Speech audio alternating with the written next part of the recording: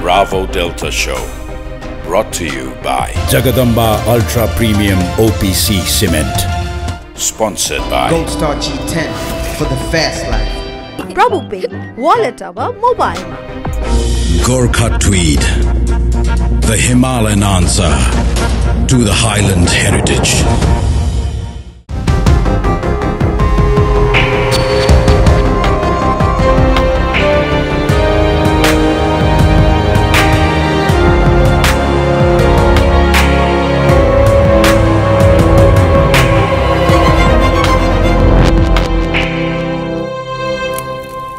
दर्शक वृन्द नमस्ते। मध्य मङ्सिरको मौसमले वातावरणलाई बिस्तारै चिसो बनाउँदै लगेको भए पनि देशको राजनीतिक वातावरण भने तातिरहेको छ।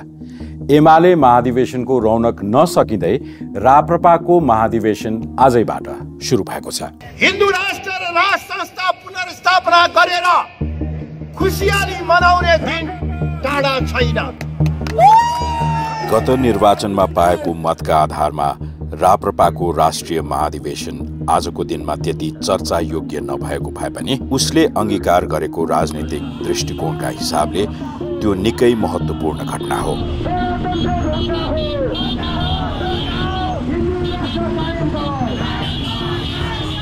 देश र जनताका लागि राजनीति गरिरहेको भन्ने यो देशका अधिकांश राजनीतिक दल संघीय लोकतान्त्रिक गणतन्त्रलाई अङ्गीकार गरिरहेका बेला राप्रपा भने त्योभन्दा भिन्न व्यवस्थाको माग गरिरहेको छ। राष्ट्रिय प्रजातन्त्र पार्टीको बाटोबाट राष्ट्र संस्था हिन्दू राष्ट्र पुनर्स्थापना चाहन्छौँ। यो हाम्रो अग्नि परीक्षा हो। राप्रपा आज राज संस्था सहितको प्रजातन्त्र मात्रै होइन हिन्दू धर्म सापेक्ष मुलुकको एजेन्डा बोकेर राजनीति गरिरहेको छ जुन बैसठी त्रिसठीको आन्दोलनले परिवर्तन गरिसकेको विषय हो। श्री पाँचको सरकारलाई अब उपरान्त नेपाल सरकार बनिनेछ। नेपाल धर्मनिरपेक्ष राज्य हुनेछ। आज संघीय लोकतान्त्रिक गणतन्त्रको संविधान देशले अमल गरिरहेको छ। र त्यो संविधानले विश्वको एकमात्र हिन्दू राज्यलाई धर्मनिरपेक्ष राष्ट्रका रूपमा स्वीकार गरेको छ। यस संविधानको घोषणासँगै हाम्रो देशमा सङ्घीय लोकतान्त्रिक गणतन्त्र संस्थागत भएको छ। राजा सहितको प्रजातन्त्र मात्रै परिवर्तन भएको छैन सङ्घ र प्रदेशमा अलग अलग सरकार रहने व्यवस्था गरिएको छ। व्यवस्था जेसुकै आए पनि सबै व्यवस्थाको उद्देश्य आम जनताको जीवनमा सकारात्मक परिवर्तन ल्याउनु हो। नयाँ व्यवस्था आएपछिको यो अवधिमा अनेक पार्टी र नेताका सरकारहरू बने अस्थिरता केन्द्रमा मात्र होइन प्रदेशमा पनि पाँचै वर्षमा नेपाली जनताले वाक्क दिक्क हुने गरी अनुभव गरिसकेका छन्। परिवर्तनका नाममा जनताका लागि भनेर गठन भएका प्रदेश सरकारहरूले खास जनताका लागि के गरे? त्यसको जवाफ पहिलो कार्यकाल सकिन लाग्दा स्वयं सरकारको नेतृत्व गरिरहेकाहरूले पनि भन्न सक्ने अवस्था छैन।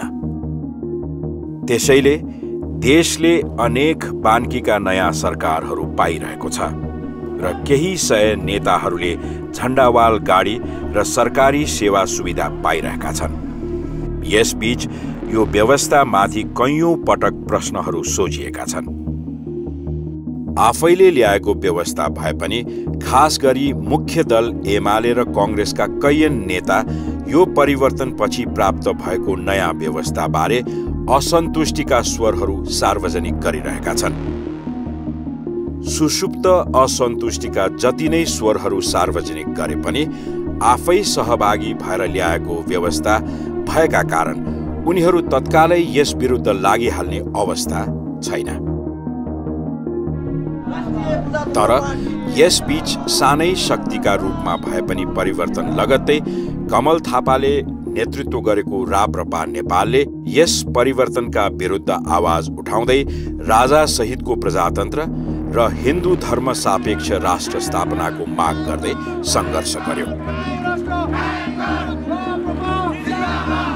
परिवर्तन लगत्तै उनको यो विद्रोहलाई त्यति वास्ता नगरिएको भए पनि सत्तरी सालको आम निर्वाचनमा थापा र उनको पार्टीले उठाएको मुद्दाको पक्षमा जनताले उल्लेख्य सहमति जनाए। जसै आफ्नो मुद्दामा जनताको समर्थन पाउँदै संसदमा उल्लेख्य उपस्थिति भयो त्यसपछि कमल थापाले आफ्नो मुद्दा र एजेन्डालाई सिरानी हालेर सत्ताको खेलमा सहभागी बने। जुन व्यवस्थाको विरोध गरिएको हो त्यही व्यवस्थासँगको सत्ताको सौदाबाजी गर्ने कमल थापाको त्यो हरकतप्रति चिडिएका जनताले गएको निर्वाचनमा धुलो चटाइदिए। मेयरका रूपमा धवल शमशेर राणा र सङ्घीय सांसदका रूपमा राजेन्द्र लिङदेन बाहेक त्यो पार्टीको अवस्था नाजुक रह्यो। आज फेरि पुराना सबै पञ्च पार्टीहरू एक भएर शक्ति सञ्चय गर्ने योजनामा रहेका छन्। त्यही उद्देश्य सहित उनीहरूको महाधिवेशन भइरहेको छ। महाधिवेशनले साँच्चीकै पूर्व पञ्चहरूलाई एक बनाउनेछ या फेरि छिन्न भिन्न? त्यो भने हेर्न बाँकी नै रहेको छ। अलग अलग अस्तित्वमा रहेका पूर्व पञ्चहरूको विभिन्न गुटहरूको संयुक्त अधिवेशन आजबाट सुरु भएको छ। यसपटक त्यो पार्टीको अध्यक्षका लागि एक मात्र सांसद राजेन्द्र लिङदेन र सदाबहार अध्यक्ष कमल थापा बीच भिडन्त हुँदैछ। अधिवेशनपछि राप्रपाको भविष्य के? आज हामीसँग हुनुहुन्छ राप्रपा अध्यक्ष Kamal Thapa.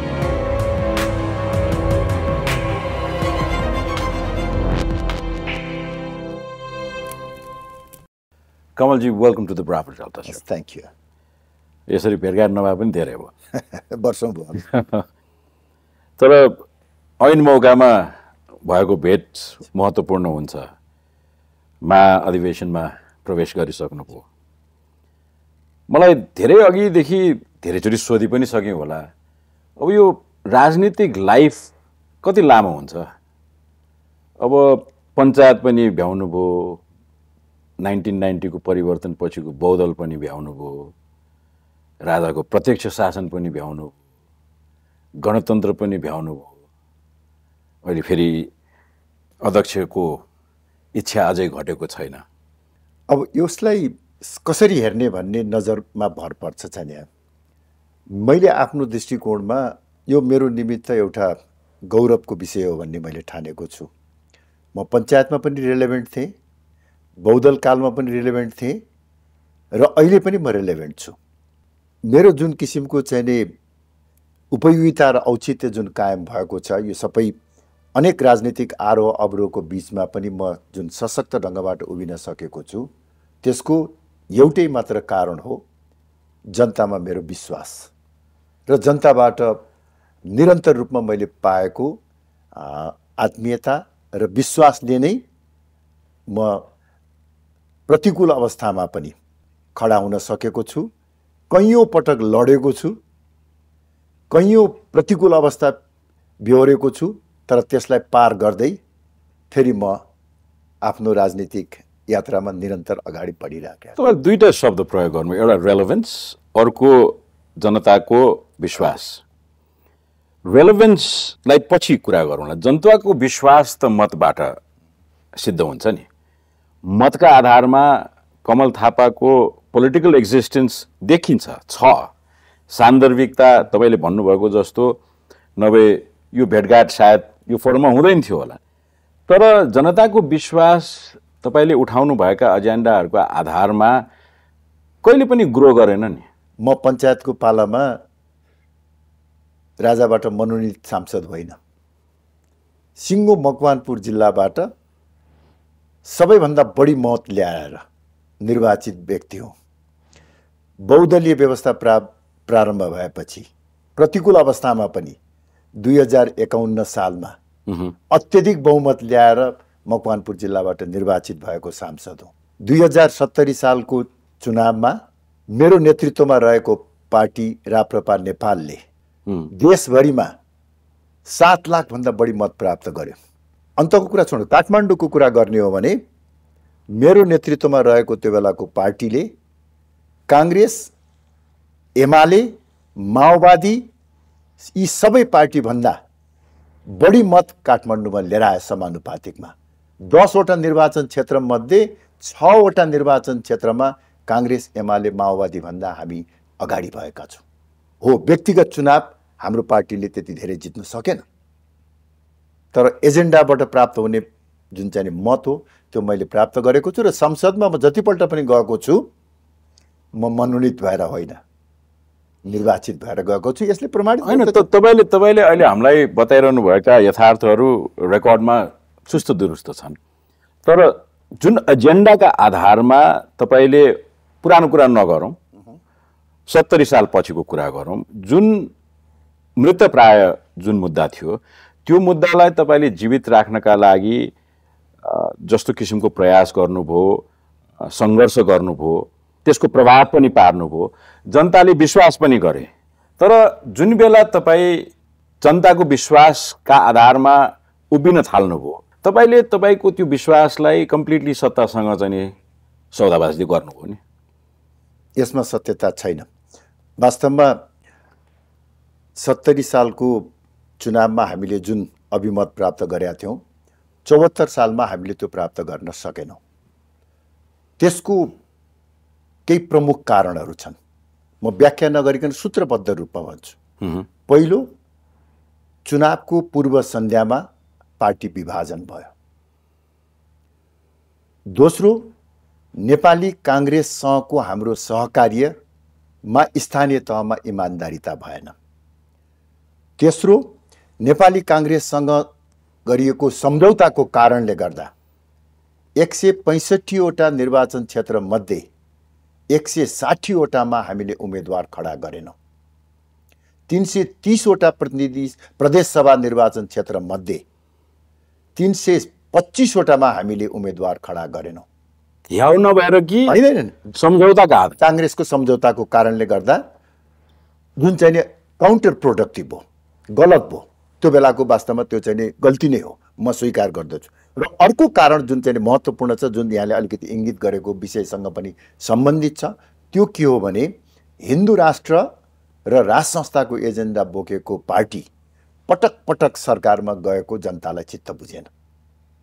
यी चार पाँचवटा कारणले गर्दाखेरि जसमा केही हाम्रो नियन्त्रणभन्दा बाहिरका कारण छन् केही हाम्रा कमी कमजोरीका कारण छ यसले गर्दाखेरि मात्रै हामीले निर्वाचनमा सफलता हासिल गर्न नसकेका हौँ। अदरवाइज राप्रपाले अवलम्बन गरेको एजेन्डाको पक्षमा अहिले पनि सशक्त जनमत छ। यदि हामीले पार्टीलाई एकताबद्ध गरेर अगाडि बढ्न सक्यौँ भने आगामी निर्वाचनमा नै हामीले अप्रत्याशित परिणाम प्राप्त गर्न सक्ने सम्भावना म टड्कारो देख्छु। तर तपाईँले अहिले बताइरहनु भएका कुराहरूमा टेक्निकल सत्यता छ।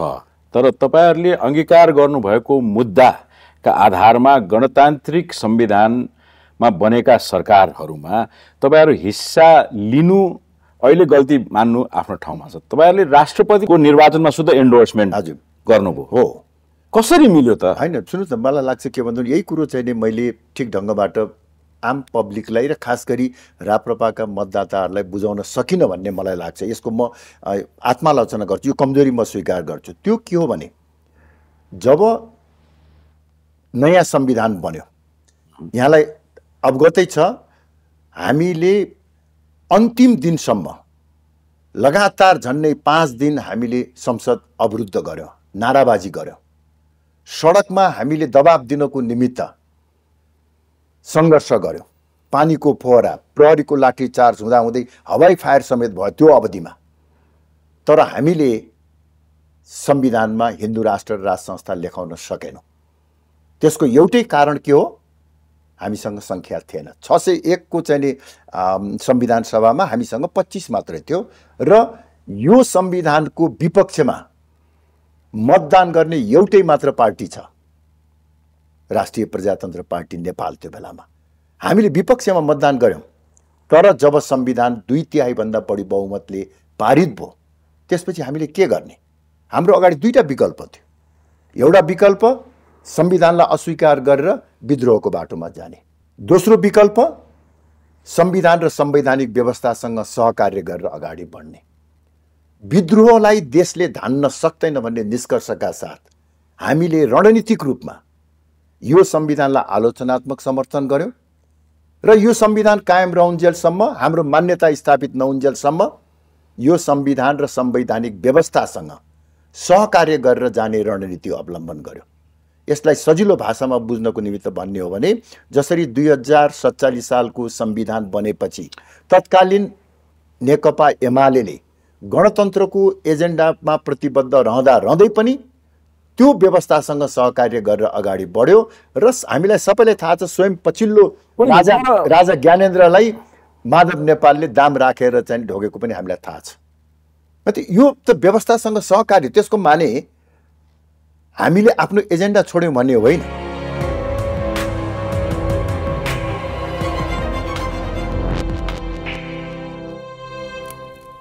अनुभवमा हुन्छ क्षमता।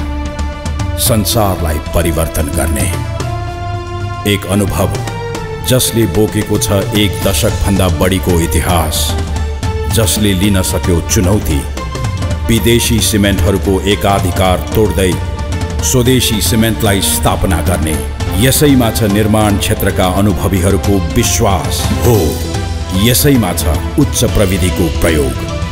यही छ राष्ट्रिय तथा अन्तर्राष्ट्रिय मापदण्डद्वारा प्रमाणित र पुरस्कृत साकार पार्दै सपना समृद्धिको क्षमता निरन्तर गुणस्तरको अरूभन्दा अलग अरूभन्दा अघि किनकि प्रतिज्ञा मात्र होइन पुरा पनि गर्दछौँ हामी।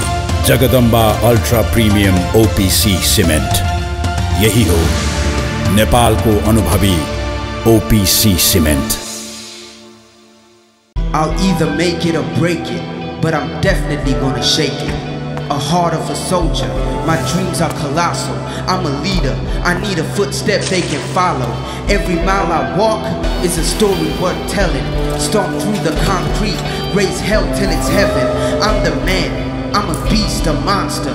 That's why I came, I saw, I conquered. Maneuver swiftly, I go with the flow. I got gold in my soul. I'm no average Joe. No time to waste. How long is a soon? Zip zap zoom, ready to touch the moon. Closer to greatness. I can feel it in my bones. I keep walking alone.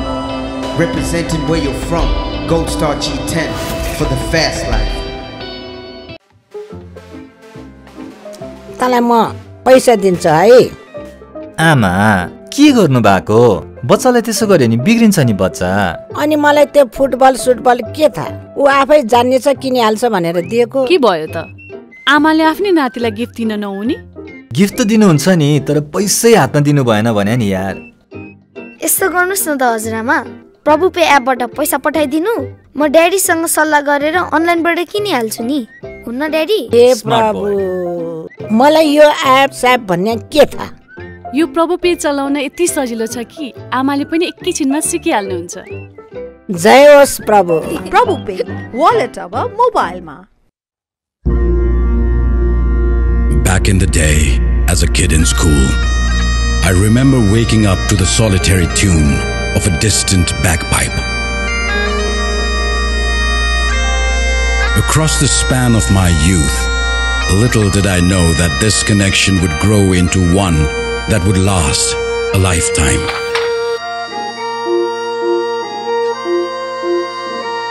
Over the years, as I matured with the wisdom of experience, I realized that this wistful tune was not only woven deep into the spirit of the highlands from whence it sprung, but reached out to me and curiously connected my sense of being to our very own highlands here at home. As the magical warmth of the highlands is now recreated in the Himalayas, the patterned art comes alive and thrives with a tremendous sense of color and texture.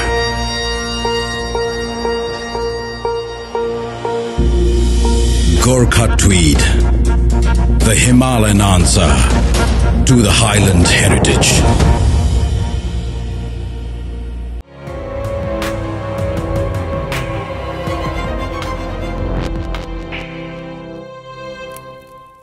जसरी संविधान प्रति तपाईँहरूको असहमति छ नि असहमति त अर्कै तरिकाले प्रकट हुन्छ नि राजनीतिमा पनि।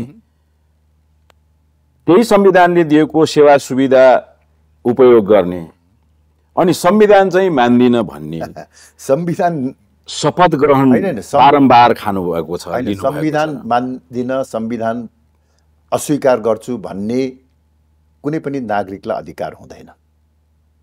सबैले संविधान मान्नै पर्छ। जबसम्म त्यो संविधान बहाल रहन्छ। हामीले यो संविधानलाई आलोचनात्मक समर्थन गरेर स्वीकार गरेको कारण के हो भने म एउटा घटना यहाँलाई अलिकति निवेदन अलिकति रोचक पनि छ। संविधान सभा अन्तर्गतको एउटा राजनीतिक संवाद समिति थियो डाक्टर बाबुराम भट्टराईको सभापतित्वमा। त्यो बैठकमा उहाँले को अध्यक्षता गरेको बैठकमा संविधान पहिलो संविधान सभाको बाट पारित भएको मस्यौदा संविधानको दस्तावेज पेश भयो। त्यसको प्रस्तावनामा लेखिएको थियो। गणतन्त्र धर्मनिरपेक्षता र सङ्घीयता अपरिवर्तनीय रहनेछ। जब त्यो बैठकमा प्रस्तुत भयो त्यहाँ सबै हुनुहुन्थ्यो। गिरिजाप्रसाद कोइराला प्रचण्ड शेरबहादुर देउबा केपी ओली सूर्यबहादुर थापा लगायतका नेताहरू हुनुहुन्थ्यो र मैले त्यहाँ भने।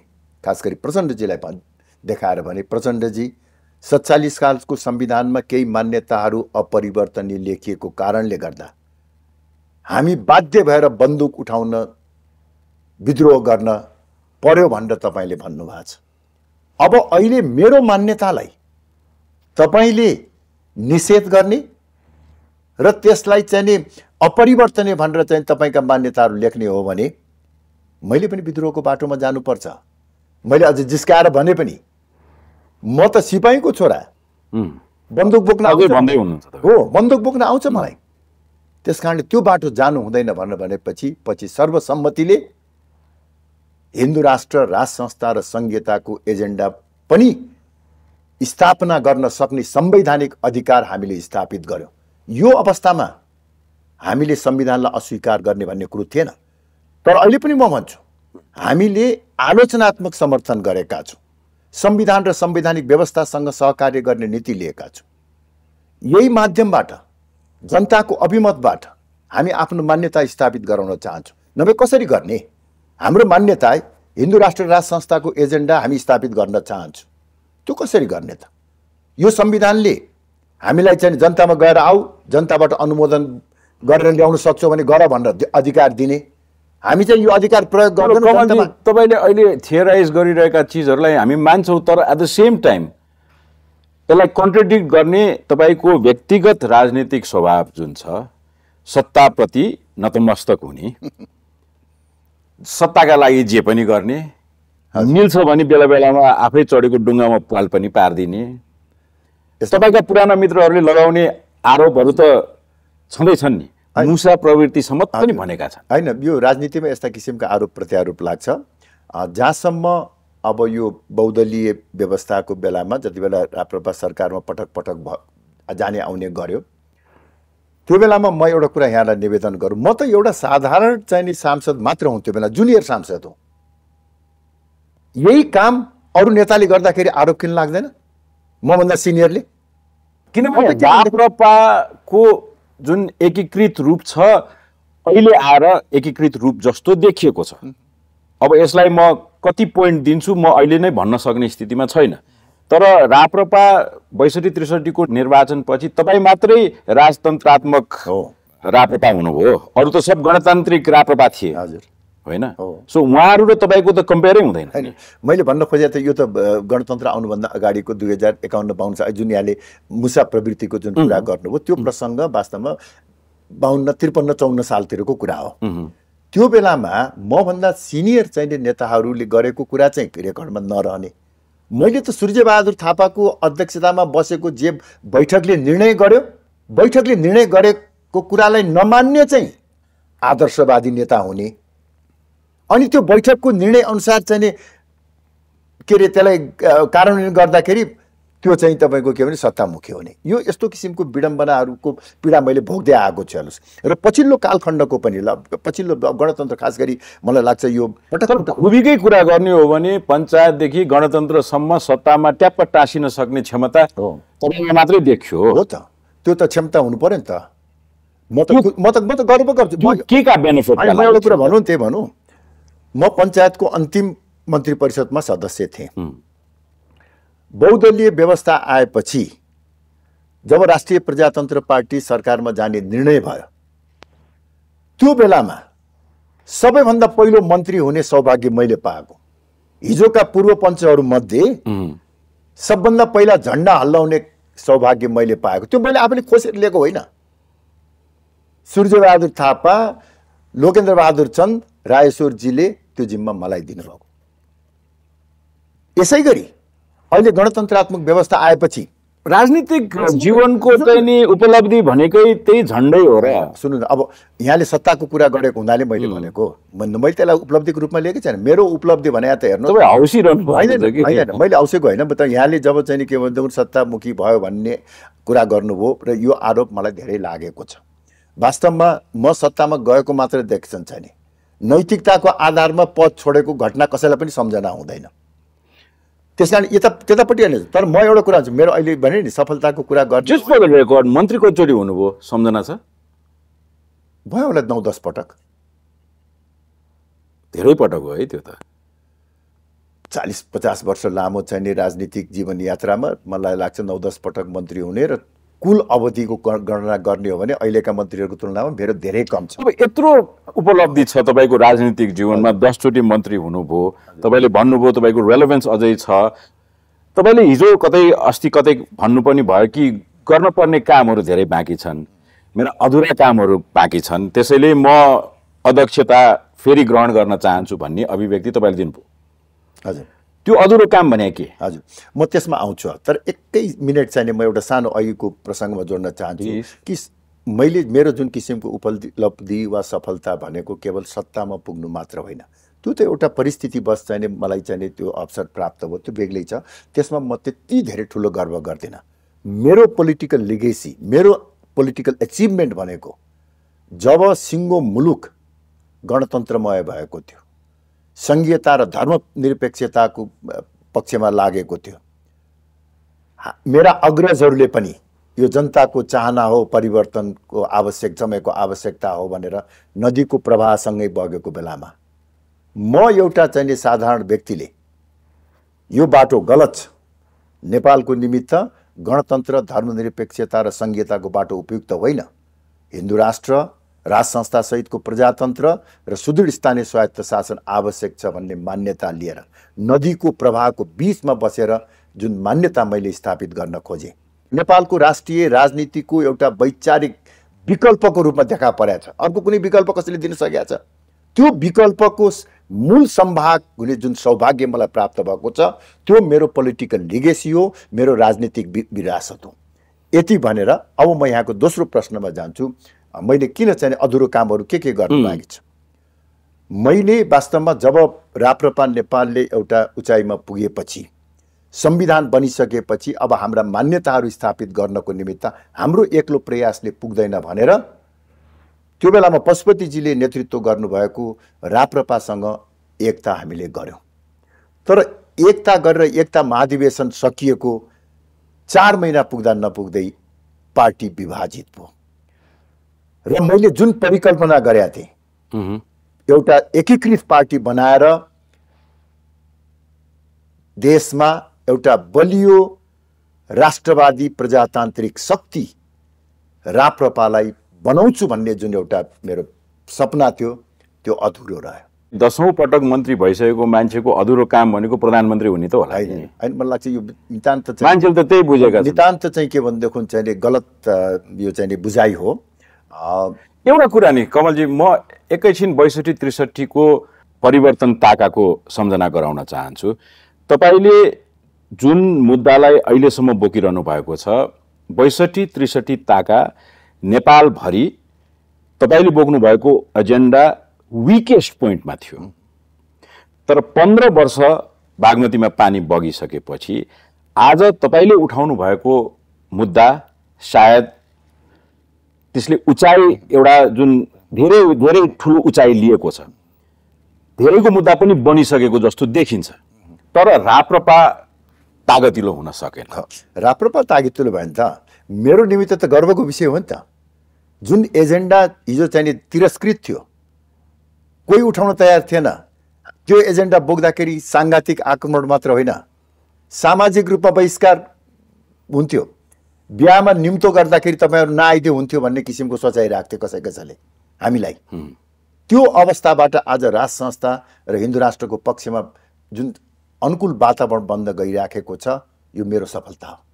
मैले हिजो संविधान सभामा लडेर यो विषयलाई संवैधानिक अधिकारको रूपमा चाहिँ स्थापित गराउन नगराएको भए आज चाहिँ यो स्थिति रहँदैन थियो विद्रोहका निमित्त को होला र हिन्दू राष्ट्र राज संस्था बोक्नेहरू कि जङ्गलमा जानु पर्थ्यो संवैधानिक अधिकारको रूपमा चाहिँ लड्न सक्ने अवस्था हुन्थेन होला पार्टी एक भयो भने म छ महिनाभित्रमा राप्रपालाई चाहिँ फेरि एउटा चाहिँ सशक्त शक्तिको रूपमा मैले विगतमा गरेर। कमलजी बैसठी त्रिसठीदेखि सत्तरी सालसम्म तपाईँले यो यही विषयहरू उठाउँदाखेरि तपाईँको राजनीतिक विचारमा वजन देखिन्थ्यो आज तपाईँले यही चिज बताइरहँदाखेरि तपाईँ महाधिवेशन उन्मुख अध्यक्षको प्रत्याशीका रूपमा तपाईँ आफ्ना पोलिटिकल विचारहरूलाई जस्टिफाई गर्नका लागि मात्रै यो भनिरहनु भएको जस्तो किन लागिरहेको छ? होइन वास्तवमा के भनेदेखि यसको बारेमा मैले आम जनतालाई बुझाउन सकिराखेकै छैन अथवा अझ मैले प्रयास गर्नुपर्ने आवश्यकता छ।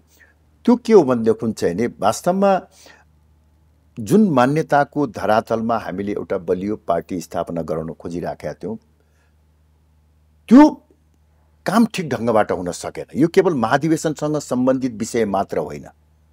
यो त्योभन्दा माथि उठेर हामीले एउटा सबल र समुन्नत नेपाल बनाउने जुन परिकल्पना छ त्योसँग गाँसिएको विषय हो। यसलाई केवल सत्तासँग मात्रै गाँसेर हामीले हेर्नुहुन्न। म एउटा कुरा स्वीकार गर्दछु। त्यो के हो भने त्यसको कारणहरू छन्। अब कारणमा जान सकिँदैन अहिले। किन कस्तो परिस्थितिमा हामी सरकारमा गयौँ भन्ने कुरा त्यो अहिले मैले व्याख्या गर्न सम्भव छैन। जुनसुकै कारणले गएको भए तापनि जुनसुकै बाध्यताले गएको भए तापनि हिन्दू राष्ट्र र राज संस्था बोकेको पार्टी र विशेष गरी कमल थापा पटक पटक सरकारमा गएको जनतालाई चित्त बुझेन। हाम्रो पार्टीका शुभचिन्तकलाई चित्त बुझेन। जनताको ममाथि धेरै ठुलो भरोसा रहेछ। ममाथि धेरै ठुलो आशा र विश्वास रहेछ। त्यो विश्वासलाई मैले निर्वाह गर्न नसकेको रूपमा आम जनताले बुझे। त्यस कारणले गर्दाखेरि विगत चार वर्षदेखि म भनिराखेको छु कि अब राप्रपा सत्ता केन्द्रित राजनीति होइन सिद्धान्त र जनता केन्द्रित राजनीति गर्छ। र आगामी दिनमा राप्रपा आजका बेला अहिले तत्काल हामी तपाईँसँग कुरा गरिरहेका छौँ। अहिले चाहिँ नि अलिकति पत्याउन हामीलाई अलिकति गाह्रो भइरहेको छ। म एकैछिन बैसठी त्रिसठीभन्दा अगाडिको यहाँहरूको महाधिवेशनको अलिकति सम्झना गराउन चाहन्छु। सबै पञ्चायती व्यवस्थामा हस्तीहरू लाभका पद प्राप्त गरेका व्यक्तिहरू हुनुहुन्थ्यो। त्यो अन्ठाउन्न उनासाठी सालको महाधिवेशन यहाँहरूको? अन्ठाउन्न। अन्ठाउन्न।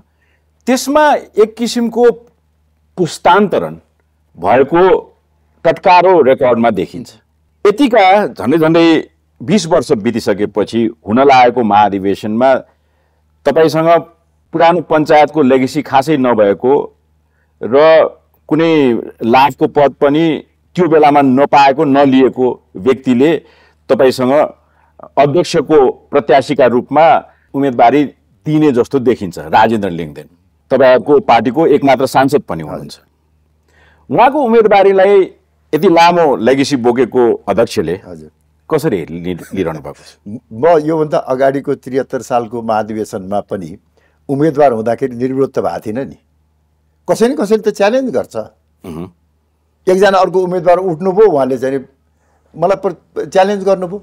यो पटक पनि मैं त मलाई चाहिँ अब कसैले च्यालेन्ज गर्छ भने अब मैले त्यसलाई चाहिँ नि चाहिँ त्यो अनुपयुक्त भन्ने त कुरा आउँदैन। हरेक पार्टीका कार्यकर्ताहरूलाई मलाई च्यालेन्ज गर्ने अधिकार पनि छ मलाई चाहिँ के अरे हराउने अधिकार पनि छ। यदि महाधिवेशन प्रतिनिधिले चाहिँ विश्वास गरे भने त्यसैले त्यसलाई हामीले मैले एउटा अत्यन्तै स्वाभाविक प्रजातान्त्रिक अभ्यासको रूपमा लिएको छु। कुनै त्यस्तो धेरै चिन्ता लिएर मैले यो कुरोहरूमा हेरिराखेका छैन। पहिलो कुरो। दोस्रो कुरो अब म यति लामो समयसम्म रहेँ भन्ने कुरा चाहिँ हेर्नुहोस्। एउटा कुरो चाहिँ म फेरि फेरि प्रश्न पार्न चाहन्छु सम्झना दिलाउन चाहन्छु कि एकीकृत राप्रपाको म जम्मा जम्मी चार महिनाको अध्यक्ष हुँ। मैले काम गर्न पाएको छैन। त्यही काम गर्ने रहरले म स्प्लिट अर्को चाहिँ छुट्टै चाहिँ पार्टीको त म लामो समय बाह्र तेह्र वर्ष भएँ त्यसमा मैले चाहिँ एउटा उचाइ पनि प्राप्त गरेँ सफलता हासिल गरेको छु छुट्टै हुँदा पनि। मैले एकीकृत पार्टी हाँक्न पाएँ भने कस्तो परिणाम ल्याउँछु भन्ने कुरा एकपटक प्रमाणित गरेर देखाउनु जम्मा चार महिना मैले काम गर्ने मौका पाएँ। त्यसपछि पार्टी फुट्यो। यो एकता गराउनको निमित्त यो साधारण प्रयासले भएको छ नि यो मलाई मलाई अध्यक्ष हुनको लागि भन्दा पनि यो अहिले चाहिँ नि मेरो चार महिना पुग्दा नपुग्दै चाहिँ नि पार्टी फुट्यो। तिन टुक्रा हो। र निरन्तर यो दुई अढाई वर्षको प्रयासपछि यो तिनटै पार्टीलाई मेरै कार्यकालमा यही चार वर्षको भित्रमा फेरि एक ठाउँमा लिएर आएर मैले एकता महाधिवेशन गराउने अवस्थासम्म पुर्याएको छु। के को का लागि? त्यसको निमित्त मैले धेरै मूल्य चुकाएको छु। दुईटा पार्टी मिल्दा तिनवटा अध्यक्ष स्वीकार गरेको छु। हिन्दू राष्ट्रको एजेन्डा बोकेको पार्टीको सबभन्दा लोकप्रिय चिन्ह गाईलाई परित्याग गरेर पार्टी एकताको निमित्त हलो मानेको छु। अन्य धेरै कुरा सम्झौता गरेको छु। के को लागि? पार्टी एकताको लागि। किनभने त्यो एकीकृत पार्टीलाई एकपटक मैले चाहिँ नि नेतृत्व गर्न पाएँ भने म पार्टीलाई जुरुक्क उठाउन सक्छु भन्ने मेरो आत्मविश्वास छ मेरो भिजन छ। मैले प्रमाणित गरेर देखाएको। तर तपाईँको प्रत्याशीका चाहिँ नि त्यो गुणहरू छैन? उहाँहरू बिस्तारै उहाँहरूलाई मैले तालिम गर्दै लिएर आएको हो। वास्तवमा मैले उहाँहरूलाई एक किसिमले भन्ने विद्यार्थी अवस्थादेखि नै डोराउँदै मेन्टोर डोराउँदै लिएर आएर उहाँहरूको चाहिँ प्रिम अवस्थामै उहाँहरू कुनै पनि पदमा नहुँदाखेरि मैले एकैपटक महामन्त्री जस्तो पदमा राजेन्द्र लिङ्गदेन र धवल शमशेरलाई राखेँ। म म मात्र अध्यक्ष होइन। यी सफलता र असफलताको निमित्त कमल थापा मात्र दोषी छैन। यो दस वर्षमा राजेन्द्र लिङ्गदेन र धवल शमशेर राणा निरन्तर पटक पटक मात्र होइन निरन्तर अध्य उपाध्यक्ष महामन्त्री सङ्गठन विभागको प्रमुख हुनुहुन्छ। नेतृत्वमै हुनुहुन्छ उहाँहरू। युवा अवस्थामा भए तापनि। र बिस्तारै उहाँहरू तयार हुँदै हुन्छ उहाँहरूको लोकप्रियता बढ्दै गएको छ। क्षमता बढ्दै गएको छ। हामी स्कुलमा पढ्दाखेरि हुन्थ्यो नि डबल प्रमोसन हो। ट्रिपल प्रमोसनसम्म पाएका विद्यार्थी हुन्थे। राजनीतिमा चाहिँ त्यस्तो हुँदैन। हुन्छ। समय आएपछि भइहाल्छ नि। समय आउँछ। अहिले ठिक्क। अहिले अहिले चाहिँ मलाई लाग्छ उहाँहरूले धैर्यता गर्ने बेला हो। अहिलेको बेला भनेको पुस्ता चाहिनेको बिचमा तर चाहिँ नि नेतृत्वका विभाजनको रूपमा रेखा कमल कोरेर- थापालाई त देशले पार्टीले कार्यकर्ताले पटक पटक हेरे टेस्ट गरे tried tested and No, I, I don't agree that. Not at all. I have succeeded. केमा फेल भयो म अब एजेन्डा स्थापित हुन नसक्नु जीवित छ एजेन्डा छ तपाईँका फेल बनायो यो सबैभन्दा पहिला कसले बोकेर हिँड्यो? को थियो चाहिँ नेपालको राजनीतिमा चिनिने व्यक्तित्व? राजाको मन्त्रीमण्डलमा चाहिँ भएका बिस एक्काइसजना मध्ये अहिले को कहाँ छ? हिजोसम्म पनि यदि माहौल बनेको हो तपाईँको एजेन्डा ग्रो गरेको हो भने तपाईँ आफैलाई अवमूल्यन गरिरहनु भएको अभिव्यक्ति दिइरहनु भएको थियो कि हामी आगामी निर्वाचनमा तेस्रो पार्टी हुने सपना देखिरहेका छौँ। त्यो रियालिस्टिक कुरा गरेँ मैले हो यथार्थवादी कुरा गरेको। अहिले नै काङ्ग्रेस र एमाले भन्दा चाहिँ ठुलो पार्टी हुन्छु भनेर चाहिँ नि मैले भने त्यो व्यवहारिक कुरा हुँदैन। मेरो एम्बिसन मेरो आकाङ्क्षा मेरो लक्ष्य तपाईँको कुरा एउटै जिज्ञासा नि राप्रपा भित्रका वा राप्रपा बाहिरका पनि अहिले जनसमुदायले यहाँबाट सुन्न खोजिरहेको कुरो चाहिँ नि यदि राजेन्द्र लिङ्गदेन अध्यक्षका रूपमा अवतरित भयो भने तपाईँले उठाउनु भएका मुद्दा र एजेन्डाहरूले अझ वजन पाउँछ कि अझ अझ माहौल बन्छ कि भन्ने एउटा आश त छ नि। होइन निश्चय पनि राजेन्द्र लिङ्गदेन एउटा उदयमान राजनीतिक व्यक्तित्व हो पार्टीको एसेट हो भोलिको निमित्त यदि चाहिँ अस्थिर नभइकन अधीर नभइकन काम गर्यो भनेदेखि भोलिको निमित्त एउटा चाहिँ सम्भावित नेतृत्व हो। त्यसै त मैले ग्रुम गर्दै लिएर आएको हो।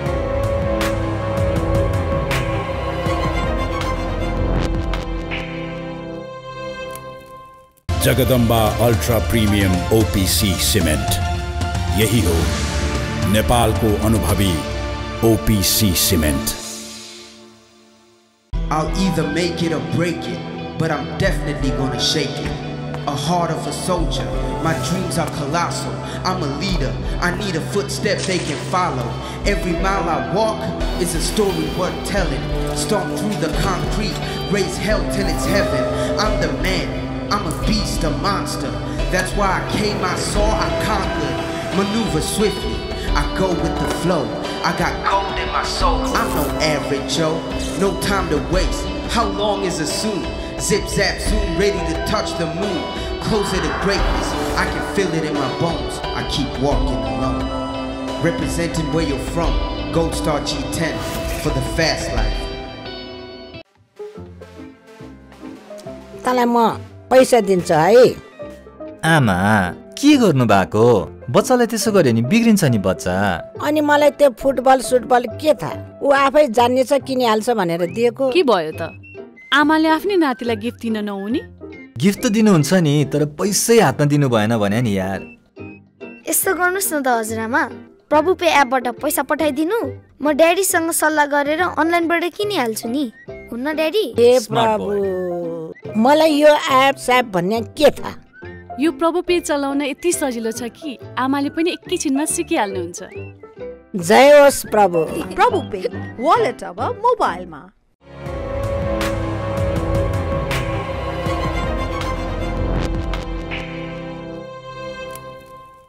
मेरो अर्को चाहिँ प्रति प्रश्न छ। नयाँ पुस्तालाई चाहिँ हस्तान्तरण गर्नुपर्ने जुन कुरा उठिरहेको छ म चाहिँ किन आपत्तिजनक भयो ममा कुन चाहिँ किसिमको खोट छ? मैले के अपराध गरेको छु? अपराधको कुरा होइन कि? ट्राइड एन्ड टेस्टेड तपाईँ मान्नुहुन्न? टेस्टेड एन्ड सक्सिडेड अहिले यो एजेन्डाको बारेमा राष्ट्रिय बहस हुने अवस्था कसले सिर्जना गर्यो? आज काङ्ग्रेस र र एमाले जस्ता पार्टीहरूमा पनि खास गरी अब गणतन्त्रको भन्दा पनि धर्मनिरपेक्षता र सङ्घीयताको बारेमा बहस हुन थालेको छ। नयाँ खुलेका पार्टीहरूले पनि हिजो हामीले भनेका कुराहरू भन्न थालेका लेटेस्ट सक्सेस नाप्ने हो भने पनि तपाईँका एकजना सांसद छन्। त्यही सांसद हो तपाईँको प्रत्याशी अहिले। त्यो त मैले अघि भने नि। होइन त्यो प्रत्याशीको जहाँसम्म चाहिँ सांसदको कुरा छ हेर्नुहोस् अब त्यो निश्चय पनि हाम्रो लागि एउटा उपलब्धिको कुरा हो गर्वको कुरा हो। मैले आफ्नो निर्वाचनलाई धरापमा राखेर केपी ओलीसँग अनुनय विनय गरेर झापामा हामीले राजेन्द्र लिङ्गदेनलाई जिताएका हौँ हेर्नुहोस् ए हो? निश्चित रूपले। म हामीले काङ्ग्रेससँग सहकार्य गरेका थियौँ। काङ्ग्रेसको सभापतिको उम्मेद्वार प्रधानमन्त्रीको पनि सम्भावित उम्मेद्वार कृष्ण प्रसाद सिटौलाको विरुद्धमा एमालेसँग चाहिँ नि सहकार्य गरेर हामीले उम्मेद्वार खडा गरेपछि काङ्ग्रेसबाट मैले इमान्दारीपूर्वक भोट पाउँछु मकवानपुरमा साझेदारी कङ्ग्रेससँग गर्ने साँठगाँठ चाहिँ केपी ओलीसँग गर्यो सायद राजनीति त्यही नै होइन राजनीति त्यो भन्दा पनि त्यो बेलाको के अरे परिस्थिति। किनभने शेरबहादुर देउवाजी र मेरो बिचमा समझदारी हुँदाखेरि लिखित रूपमा भएको सम्झौता अनुसार झापा क्षेत्र नम्बर तिन राजेन्द्रको लिङ्गदेनको क्षेत्र हामीलाई दिने भन्ने कुरा भएको थियो। सम्झौता लिखित रूपमा। तर पछि उहाँले व्यवस्था व्यक्त गर्नुभयो। कि अब कृष्ण प्रसाद सिटौला जस्तो मान्छे हेर्नुहोस् सभापतिमा उठेको मान्छे उहाँलाई चाहिँ मैले टिकट दिनँ भनिदियो त मलाई आरोप लाग्छ। भनेर उहाँले व्यवस्था व्यक्त गर्नु भएपछि मैले शेरबहादजीसँग चाहिँ कुरा गरेर ल त्यसो भए देखौँ हामी जेन्टलमेन एग्रिमेन्ट गरौँ। झापामा फ्रेन्डली कन्टेस्ट गरौँ। तपाईँले सकेको सहयोग तपाईँ जुटाउनुहोस् मैले सकेको सहयोग म जुटाउँछु। त्यही राति मध्यरातमा केपी ओलीसँग सम्पर्क हराउने त तपाईँ र शेरबहादुर देउवा पो मिलेर हरायो होइन शेरबहादजीले त अब चाहिँ उम्मेदवार बनाउनु भयो सायद जित्छु भन्ने सिटौलाजीले लागेर टिकट दिनुभयो। तर मेरो निमित्त त किन भन्दा नि एउटा न एउटा सिट त चाहिँ संसदमा जेन्टलमेन एग्रिमेन्ट भन्नुभयो नि। जेन्टलमेन एग्रिमेन्ट के भन्दा फ्रेन्डली कन्टेस्टको नट अगेन्स्ट कृष्ण कृष्ण प्रसाद सिटौला भन्दा पनि अब काङ्ग्रेस र हामी त मिलेरै चुनाव लडिरहेको थियौँ भने त्यो ठाउँमा चाहिँ फ्रेन्डली कन्टेस्ट गरौँ भनेर भनेको। त्यसपछि मैले केपी ओलीलाई चाहिँ गएर अनुनय विनय गरेँ मलाई काङ्ग्रेसले धोका दियो। तपाईँले मलाई तर अरू राप्रपाका क्यान्डिडेटहरूसँग चाहिँ नि त्यस्तो किसिमको अन्य पार्टीसँग सम्झौता किन भएन? दुई चारवटा सिट वास्तवमा त्यो त्यो पनि एउटा गल्ती मध्ये हो। म एउटा रोचक कुरा आज भन्छु। वास्तवमा चाहिँ नि उन्नाइस गते कार्तिक उन्नाइस गते दरखास्त हाल्ने। एक दिन अगाडिसम्म काङ्ग्रेसले टिकटको बारेमा ठेगान गर्दैन। मेरै बारेमा पनि। र बालुवाटारमा कुरा चाहिँ मिल्न नसके मैले हवाईजहाजको टिकट लिएको थिएँ तिन बजेको भोलिपल्ट दरखास्त हाल्नको निमित्त हेरौँ जानलाई। पाँच बजेसम्म पनि कुरा मिलेन। मैले जे भो भो अब कस्तो दिक्क लाग्दो भनेर म जब जाँदै थिएँ टेकुमा पुगेको बेलामा केपी ओलीले मलाई फोन गर्नुभयो। तपाईँ कहाँ हुनुहुन्छ? म त हेर्न जानु लाग्छ एकपटक आउनुहोस् न। भन्नुभयो र वामदेवजीको भैँसे पार्टी बैठक के अरे घरमा उहाँहरूको मिटिङ भइरहेको रहेछ त्यहाँ केपी ओलीले मलाई बोलाएर माधव नेपालजी लगायतका साथीहरू हुनुहुन्थ्यो। उहाँले भन्नुभयो तपाईँलाई काङ्ग्रेसले धोका दियो तपाईँलाई हराउँछ। तपाईँ जस्तो व्यक्ति संसदमा आउनु जरुरी छ। तपाईँको कामबाट हामी प्रभावित छौँ। विचारमा फरक छ। त्यस कारणले तपाईँलाई काङ्ग्रेसले कतिवटा सिट दिएको छ त्योभन्दा बढी सिट दिन्छु। पोलिटिक्समा त्यस्तो विजडम प्रिभेल गर्छ है नेपालमा। गऱ्यो त्यसपछि त्यो भइसकेपछि तपाईँको मैले भने हेर्नुहोस् अब यो अन्तिम घडीमा अहिले नाम लिनुभएका तिनैजना एमाले नेताहरू तितर बितर छन्। तितर बितर छन्। जे भए पनि त्यसपछि अनि त्यहाँबाट चाहिँ के भने मैले भने हेर्नुहोस् यो चाहिँ नि अब अन्तिम अवस्थामा आएर मैले काङ्ग्रेससँगको सहकार्य तोड्नु अनैतिक हुन्छ। म हारे पनि जिते पनि। तपाईँले झापा दिइसक्नु भएकै छ। झापामा एक सिट अब हामीले जित्छौँ नै। म हारेँ भने पनि देशभरिबाट चाहिँ तिन प्रतिशत म पुऱ्याइहाल्छु। तर महाधिवेशनको मुखमा राजेन्द्र लिङदेनले क्यान्डिडेचर अनाउन्स गरिसकेपछि तपाईँले यो सिक्रेट रिभिल गरिदिँदाखेरि त राजनीतिक अन्याय त भयो नि। यो सिक्रेट मात्र होइन अर्को एउटा सिक्रेट पनि रिभिल गर प्लिज चार महिना अगाडिसम्म राजेन्द्र लिङदेन मलाई भन्दै हुनुहुन्थ्यो दाई यसपटक हजुरको विकल्प छैन। तपाईँको विकल्प छैन। अर्को पटक म प्रयास गरौँला। त्यति मात्र होइन। केही समय अघि केही अलिकति समय अगाडि हामी एउटा कार्यक्रमको सिलसिलामा ताप्लेजुङ पुगेका थियौँ। साक्षात् भगवती पाथिबारा देवीको दर्शन गा गर्न गएको थियो। म अलि अगाडि पुगेँ मैले पूजापाठ सकिसकेका थिएँ। राजेन्द्र लिङदेन बिस्तारै आउनुभयो। आउने बित्तिकै भगवान् भगवतीको दर्शन गर्नुभन्दा अगाडि उहाँले मलाई च्याप्पा हातमा समात्नुभयो। दाइ यता आउनुहोस्। मेरो श्रीमती पनि थियो भाउजू हजुर पनि आउनुहोस्। अरू कार्यकर्ताहरू हेरिरहेको थिए।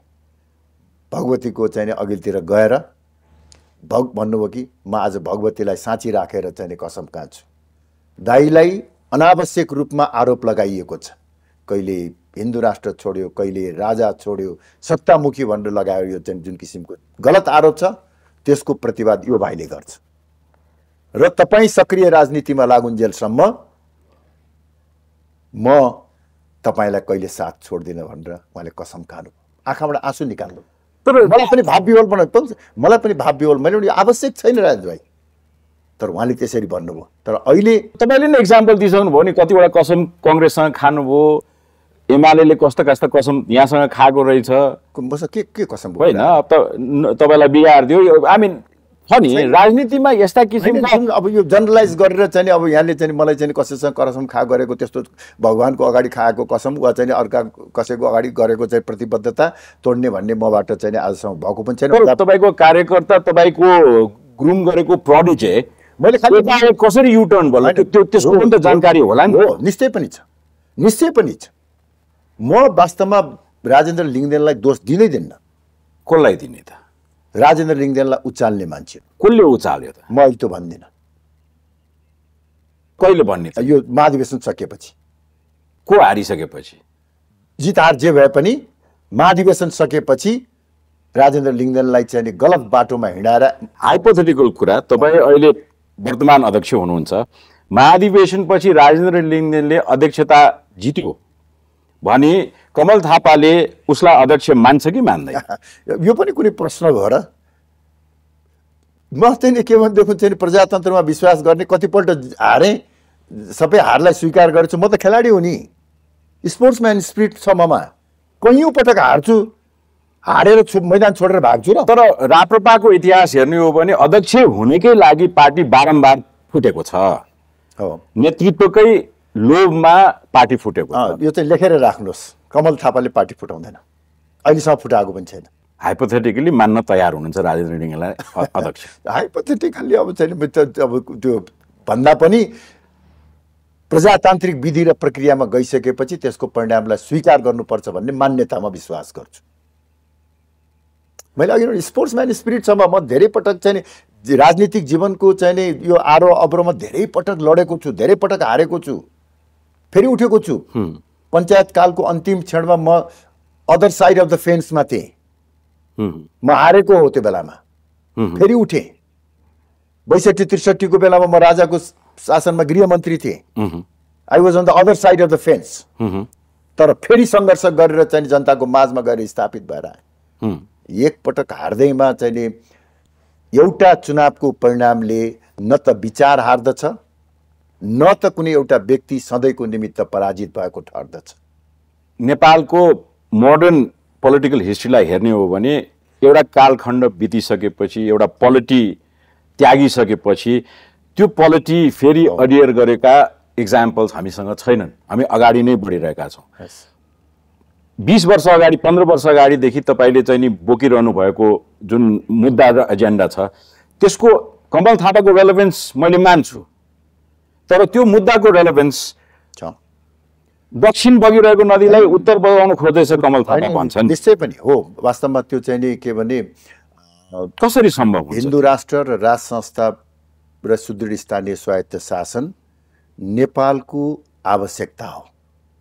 यो यो जस्तो पञ्चायत गएर बहुदल आयो बहुदल पछि जुन गणतन्त्रमा चाहिँ आयो यो जुन व्यवस्थागत परिवर्तन भए तापनि त्यसमा कन्सिस्टेन्टली रहेको कुरा भने प्रजातन्त्र हो। त्यही प्रजातन्त्रको चाहिँ पोलिटिक्स हो। प्रजातन्त्रलाई प्रजातन्त्र हो जनताको सर्वोच्चता जनताको निर्णायकत्व। जनताको निर्णायकत्व कायम रहन्जेलसम्म र आफ्नो विचार चाहिँ नि शान्तिपूर्ण ढङ्गबाट संवैधानिक रूपमा चाहिँ नि राख्न पाउने अधिकार रहेसम्म मलाई लाग्छ हामीले अन्य विकल्प सोच्नु पर्दैन। जहाँसम्म चाहिँ हेर्नुहोस् अब यो राज संस्था र हिन्दू राष्ट्रको कुरा छ।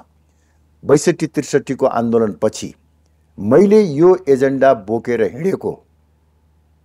यो भोलिको दिनमा स्थापित हुन्छ कि हुँदैन भन्ने हिसाब किताब गरेर होइन। जति बेला हामीले यो एजेन्डा बोकेर हिँडेका थियौँ त्यो बेलाको अवस्थामा एउटा वडामा पनि चुनाव जित्न सकिन्छ कि सकिँदैन भन्ने अवस्था थियो। हामीले बोकेर हिँडेको के भने भोलिको दिनमा होइन, एकैछिन सकिन्छ कि सकिँदैन भन्ने होइन।